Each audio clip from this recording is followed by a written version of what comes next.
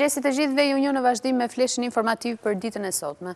I shumëkërkuari, Nuredin Dumani është vënë në pranga nga Renea mbrëmë në Fier. Dyshohet se ai ishte përfshirë në një përplasje me armë pasditen e djeshme në afërsi të Paprit dhe po mjekohej fshehtas në një banesë në lagjen Apolonia në Fier për plagën e marrë në shtyllën kurizore.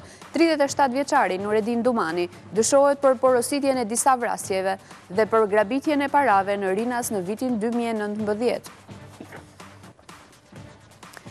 Spak kërkon arrestimin e deputetit socialist Alqi Bllako. Sipas hetimeve, ai është i përfshirë në aferën e inceneratorit të Fierit. Prokuroria thotë se kur ka qenë sekretar i Ministrisë së Mjedisit, ka firmosur tjetërsimin e truallit për ngritjen e inceneratorit.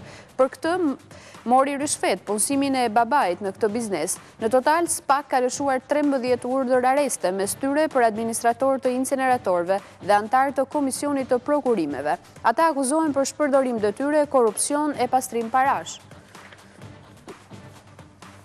Në një reagim pak orë pasi Spak kërkoi arrestimin e tij, Alqi Bllako tha se sot do të dorëzojë mandatin e deputetit për t'u përballur me drejtësinë si qytetar i zakonshëm.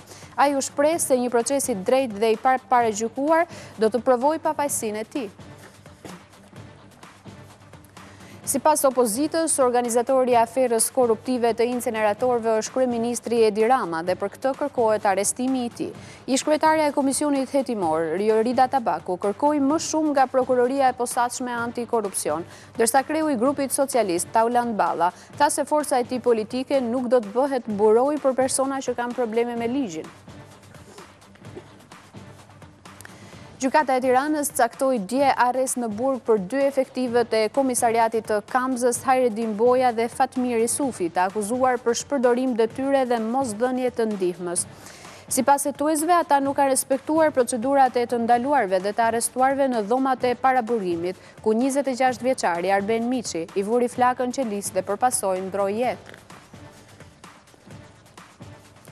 Qytetarë dhe përfaqësues të shoqërisë civile iu rikthyen dje protestës para kryeministrisë. Si reagim për krizën ekonomike, vendosën faturën e shpenzimeve në një mur simbolik.